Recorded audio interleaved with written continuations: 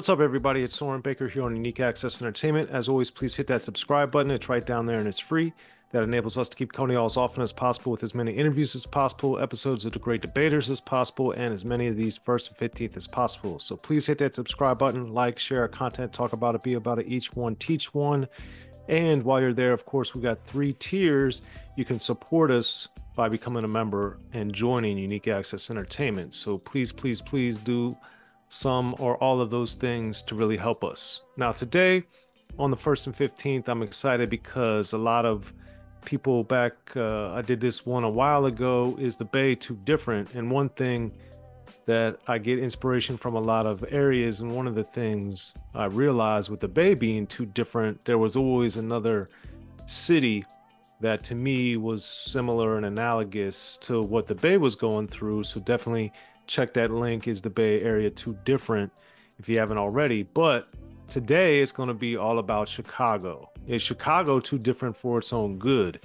And by that I mean, did Chicago artists, did Chicago movements, did Chicago throughout the history of rap not become more successful, not become more dominant because the Chicago artists are just too diverse, too good, and are too powerful and didn't have a movement or a specific sound like some of the other cities that were famous for like New York has its own thing going but then LA of course is gangster rap. Houston has its sound that it's usually synonymous with similar with Miami.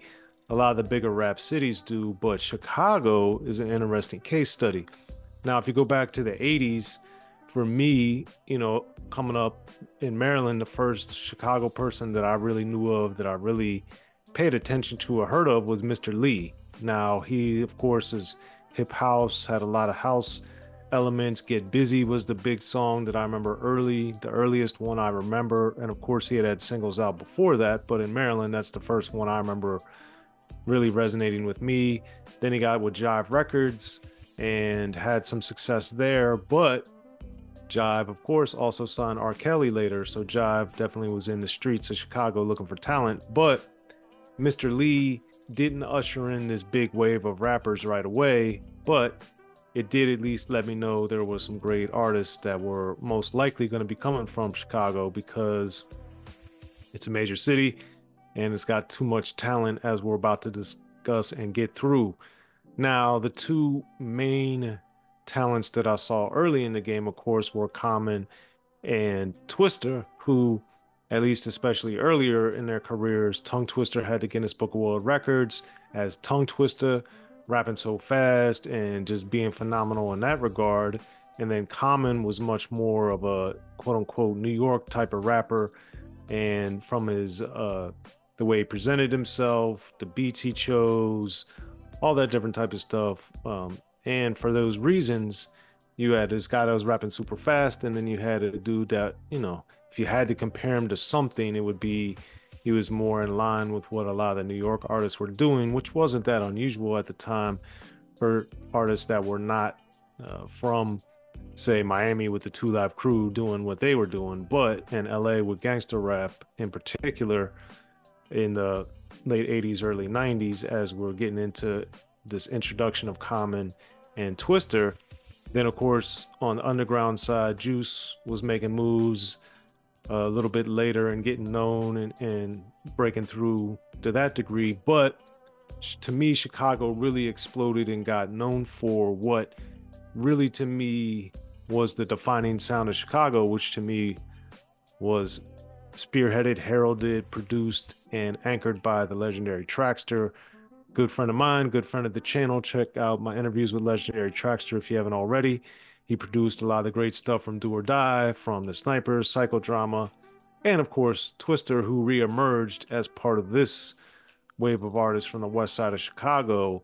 And they were very gangster and all this other stuff. And of course, Crucial Conflict, who were not produced by Traxster, but also were in the same time frame, were coming out with Hay and just did a lot of great stuff. And I mentioned Gangster, of course. I mentioned a lot of these groups in my book, The History of Gangster Rap. Definitely, there's a link below to check it out if you haven't already. But the reality is, a lot of these dudes were rapping about the Chicago gangs and rapping about it in a different way than what we had become used to by the uh, mid 1990s from the California rappers who focused, of course, on the reality of the Bloods and the Crips. Dudes in Chicago were representing what was going on in Chicago uh, at the time and still is, of course. And to me, you had this, you know, Chicago is known for house music. Chicago has Common, who's decidedly not gangster, decidedly not uh, super rapid fire like Twista or Do or Die for that matter, or Snypaz.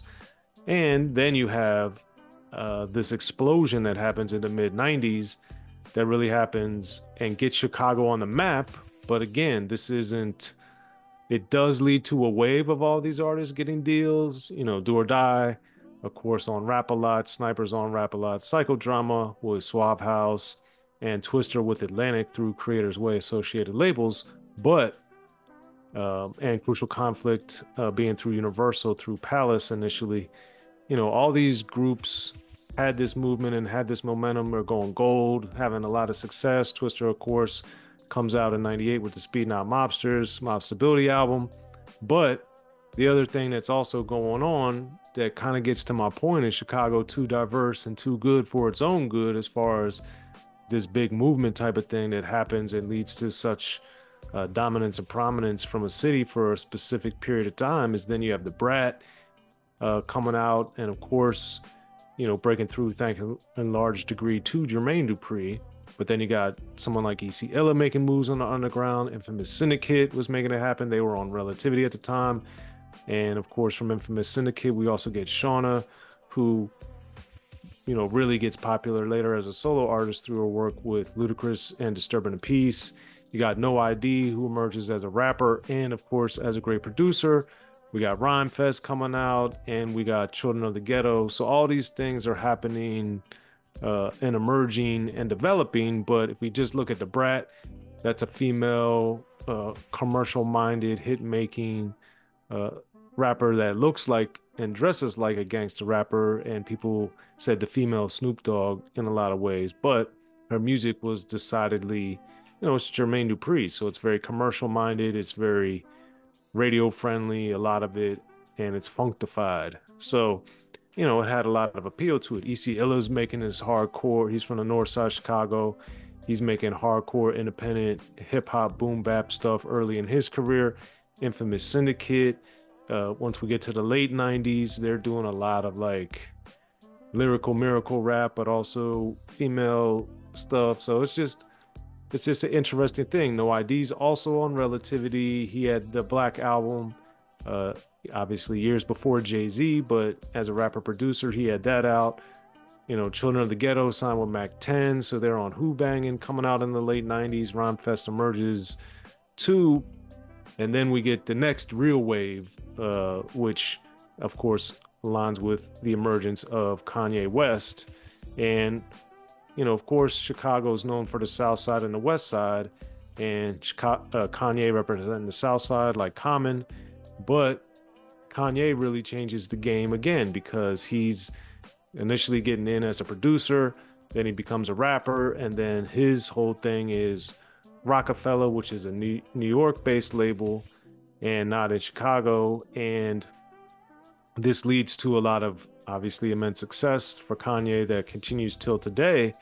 But again, this is not the sound that's quote unquote the streets of Chicago. This is something from, you know, that Kanye created kind of a, a one man machine that has led to his brilliant musical catalog and a lot of his successes, but it's just not quote unquote the sound of Chicago. But what we get soon thereafter, or I would argue, is what would later become the sound and the movement of Chicago, the Chief Keefs, the Lil Durks, the G Herbos. To me, that's what this is really about. And the movement and the sound of Chicago is more of this street gangster rap, drill music, hardcore type of stuff that those three artists really help bring uh, to the forefront. And that still remains till today. Of course, we have Lupe Fiasco, Chance the Rapper different artists that are coming out being super uh, lyrical with Lupe, enjoying some success, being on a major label uh, at the time with Atlantic when he was first getting known. Chance the Rapper, obviously being hugely successful. and being a positive dude and getting acclaim for his lyrics as well and his vision. And then we got uh, on the female side of things, Noname, and then friend of the channel, Freddie Old Soul. You can check out my interviews with Freddie there. But again, this is other than the drill music, which I would argue is what helped put the stamp on Chicago, but that's decades into the game from the 80s with Mr. Lee and later on or soon thereafter with Common and Twista it's not until you know decades later that chicago i would argue had a specific sound that was synonymous with the city even though i would also argue in the 90s that sound was the legendary traxster sound that we got with the do or dies with the snypaz with the psychodramas with the twistas it's just that that sound remained a, a gold maximum sound it didn't translate into multi-platinum. It also didn't translate into dozens of artists getting signed. It didn't translate into a bigger musical movement. So on the one hand, I definitely want to get your opinion in the comments. Definitely hit me there. Let me know what you think. You know, why didn't Chicago have the 30 artists that came out in the mid 1990s?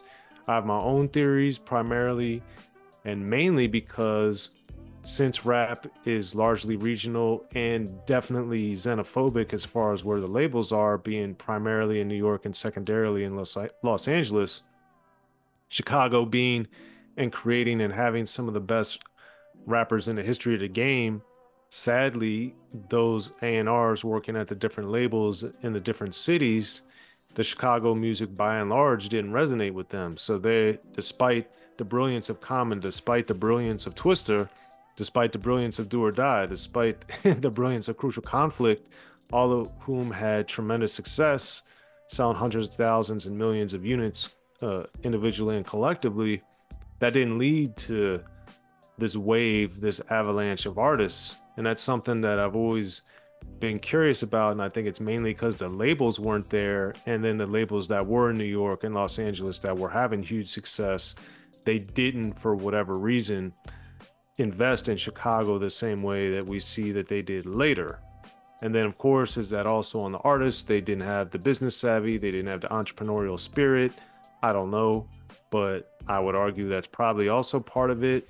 And then timing, bad luck, etc., what have you. But as I listed off, of course, I named 20 or 30 artists, and that's just a fraction of the great artists from Chicago. But when you realize that so many things have to go right in any form of any type of business and especially in the entertainment industry and the music business in particular you need a lot of things to happen and to happen at the same time in order to have this breakout huge success because it's just very hard very very hard and now as time goes on it's easier than ever to make and record music and to release it to the public but then it's harder and harder to get traction and to become an artist that people know about, care about, and will support financially to where the artist can make that their living.